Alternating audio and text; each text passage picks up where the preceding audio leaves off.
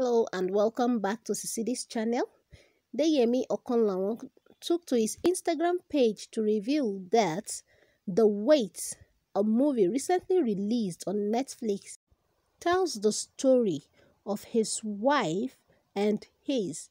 According to Okanlawon, who also stars in the movie, states that, and I quote, while reading the script and when on the set of The Wait, I experienced the most powerful emotions I've ever felt as an actor, and those emotions have been stirred every single time I have seen the film.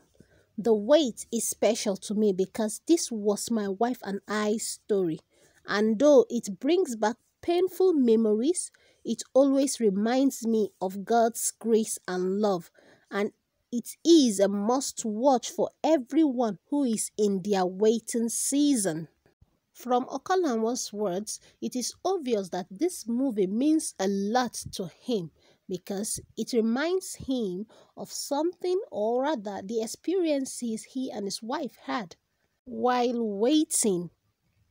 So let us know in the comments your thoughts on this emotional and inspirational movie.